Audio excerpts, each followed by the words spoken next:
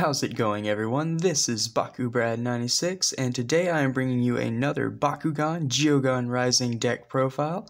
Today I will be going back over my Darkus Ventus Scrounge scan deck profile. And it's kind of an update because I had worked on this deck previously.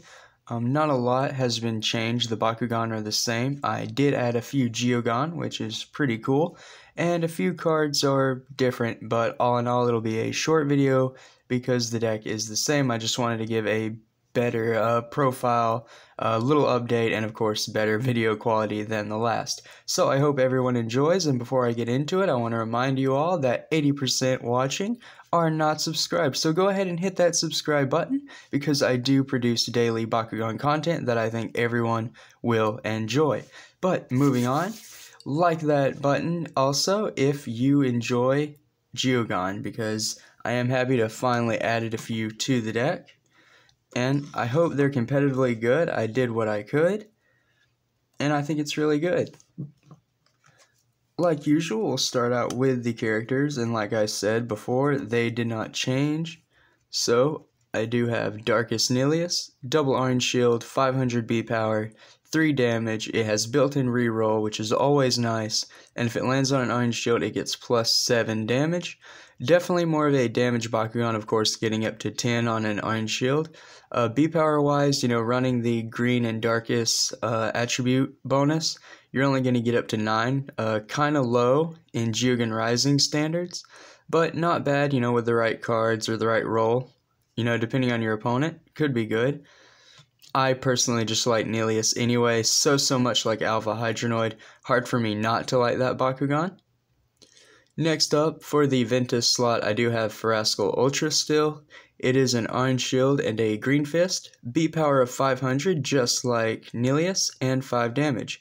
It also has built-in reroll, always a good ability to have, if it lands on a green fist, plus 500 B power, and if it lands on an orange shield, plus 5 damage. So you can go either way with this Bakugan, going either a damage route and getting 10, or going the B power route and ending up with like uh, 1150. Yeah, 1150. No, no, no, no, no. Sorry, 1100 with the green fists in this deck. So yeah, uh, very optional. I like it for that reason.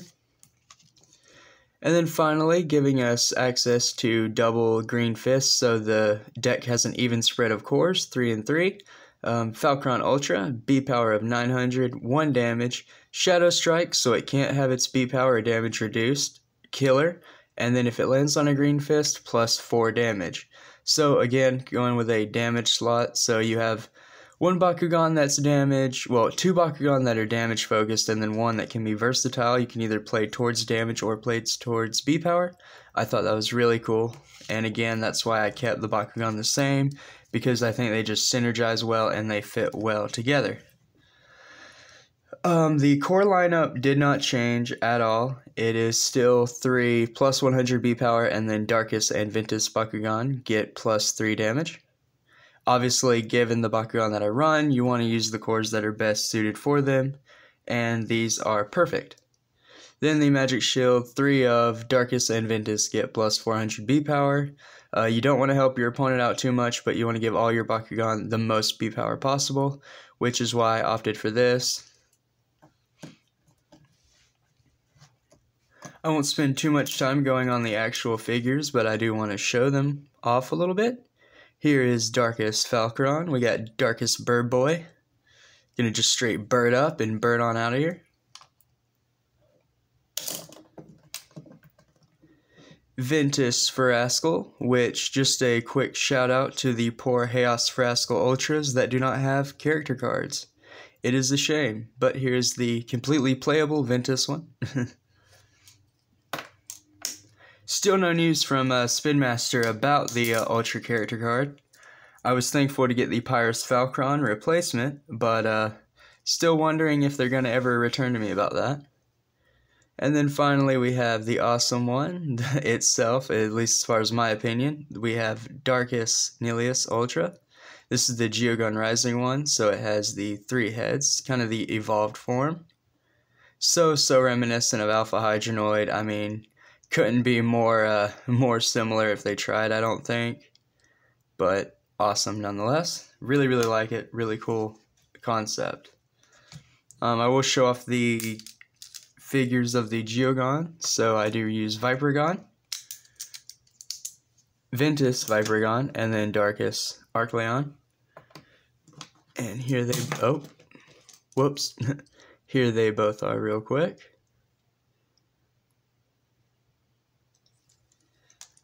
And now onto the good part, the actual deck profile itself. So again, not a whole, whole lot has changed, just the addition of a few Geogan. Um, I did switch up a few cards, but more or less it is the exact same as the other video. Body Crusher at 3, 1 energy for minus 4 damage, and you get to scan.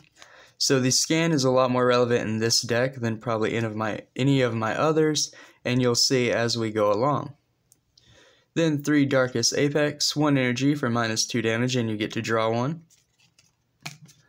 Uh, that card is really good following a scan setup play. You know what you're going to draw and you can decide whether you want it or a random card, you know, a card you didn't see.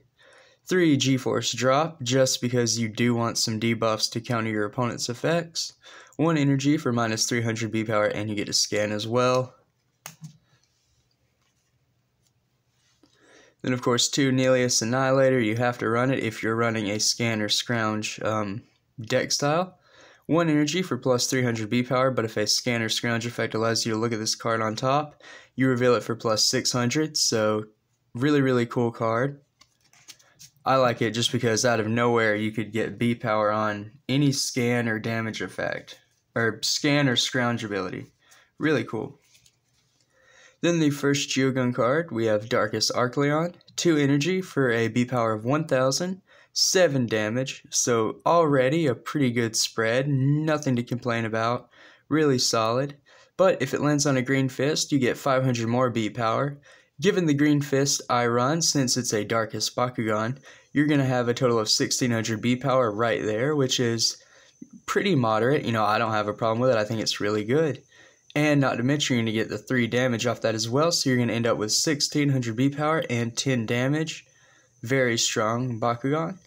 Or you could go the Orange Shield route as well, which given this one's boost of plus 3 damage and plus Shadow Strike, which is phenomenal, using the cores in my deck, you would have 1400 B power and 10 damage as well as Shadow Strike. So again, very versatile Bakugan, that's why, or Geogan, sorry, which is why it's in this deck because it plays very well with the core lineup, the strategy, and everything. I think it was just a solid addition. Following that, I do have more debuff cards, just as defense measures anyway, because the deck doesn't have a lot of flip cards, so I wanted counters to my opponent's strategies as much as possible. That is why Eldritch Darkus Doom is here, 2 energy for minus 700 B power. A very strong debuff card for 2 energy.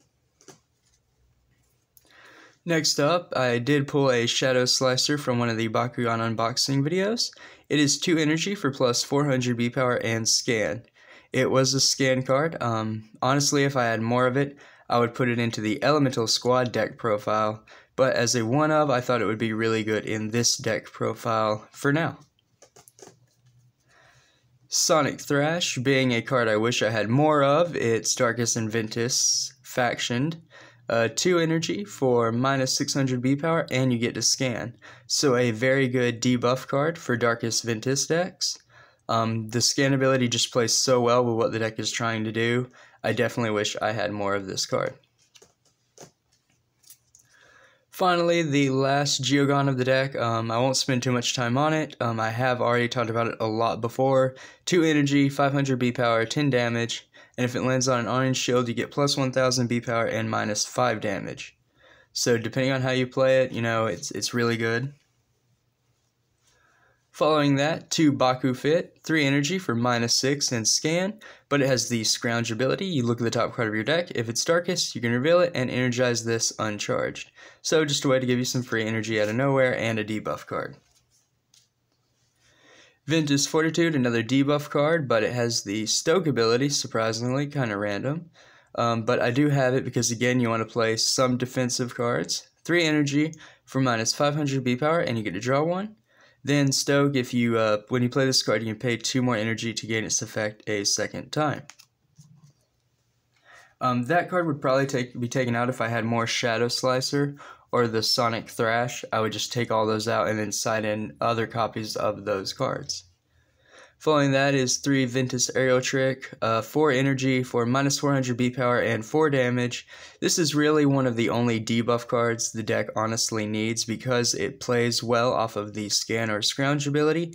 It has this ability down here. If a Scan or Scrounge effect allows you to look at this card um, on top of your deck, you can reveal it to give a Bakugan minus 2, 200 B power, and minus 2 damage. So it being a debuff and even debuffing when it gets revealed is just really nice, or scan slash scrounged, I guess you would say. Um, very versatile, and it just plays to the deck strategy. Oh, dropped the cards, but they landed on the, the stack, so that was pretty cool. Then we go into the higher costed cards, you know, the 5 energy costs. 2 Darkus Eclipse, 10 damage, so just a big damage uh, giving card but it does have an ability again. If it gets scanned or scrounged from the top of the deck, you can reveal it to give a Bakugan plus 10. So you would get that plus 10 for free. You won't even have to pay the 5 energy necessarily, and that's why this card is key. Um, you don't want to have 3 because you definitely want to, don't want to see too many copies of the card, but I think at 2 of is good because you can either play it as an energy or use it outright. The same reason why I have 2 Lash and Trash 5 energy for minus 1100 B power, but scrounge. Look at the top card of your deck. If it costs 5 or more energy, you may reveal and draw it. So this kind of plays well with the other 5 energy cost cards in the deck, as well as it is a powerful debuff towards your opponent.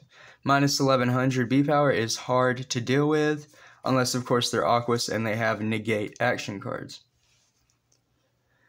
Then I actually do have a Baku Gear, uh, the Root of Darkus, 5 energy to give a Bakugan plus 500 B power and 5 damage. If a scan or scrounge effect allows you to look at this card on top of your deck, you can reveal it to give a Bakugan plus 300 and plus 3 damage, and that is pretty key here because that ability is going to come up a lot more rather than you actually using the Baku Gear itself.